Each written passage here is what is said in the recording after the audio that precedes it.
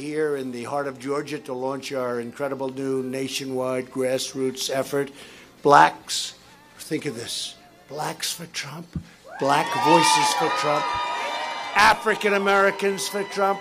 Call it whatever the hell you want, right? We like it. What do you prefer?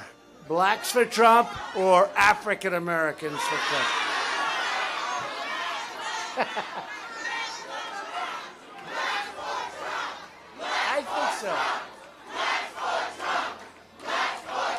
Great.